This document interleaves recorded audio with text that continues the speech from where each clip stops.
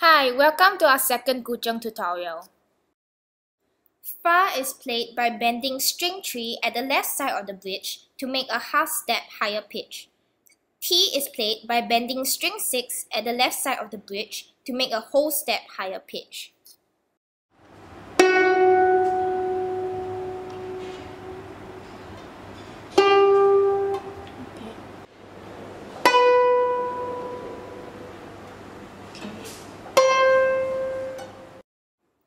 After plucking, vibrate the string on the left side of the bridge to extend the string tone.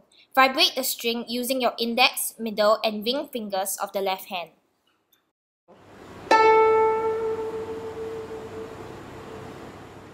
The notation for Shanghua In is an arrow pointing upwards. Bend the string at the left side of the bridge after plucking.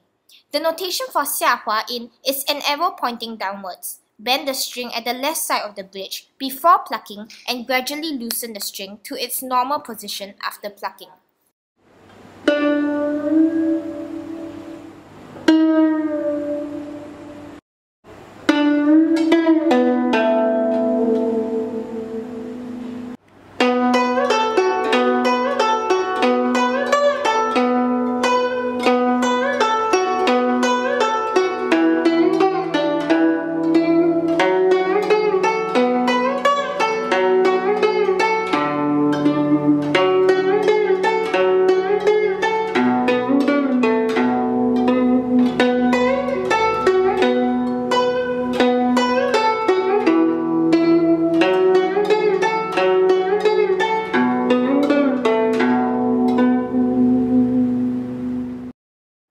See you next time!